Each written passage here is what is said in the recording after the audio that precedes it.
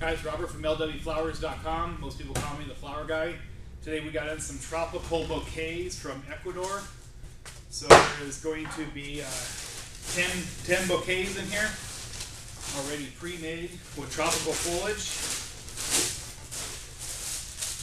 So it's something always come with a water pack on so you stay moist in the sleeve. So you can either sell them just like this or you can uh, um, use them for, for your arrangements. So again, you're gonna take them out and inspect them, make sure they're nice. And get a cut on, 'em, put them in water. But it looks like there's uh, about 10 varieties of greens in there.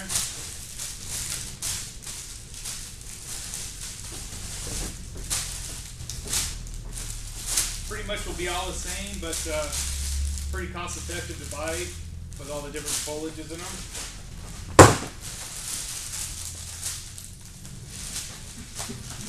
I'm just gonna take off the, the pack that's got the water in it.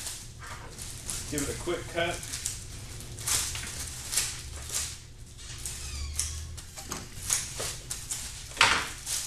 And in a bucket of water.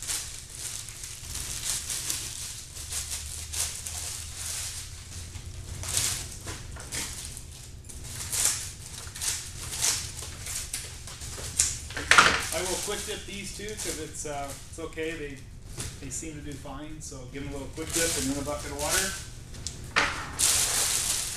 Again, these are out of Ecuador.